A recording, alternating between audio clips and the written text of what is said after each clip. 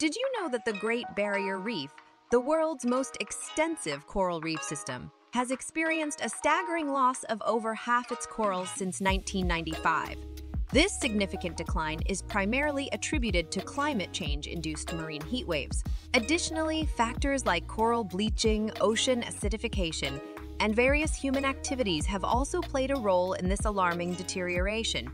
This natural wonder, spanning over 2,300 kilometers, not only holds immense ecological significance, but is also a vital barometer for global environmental health.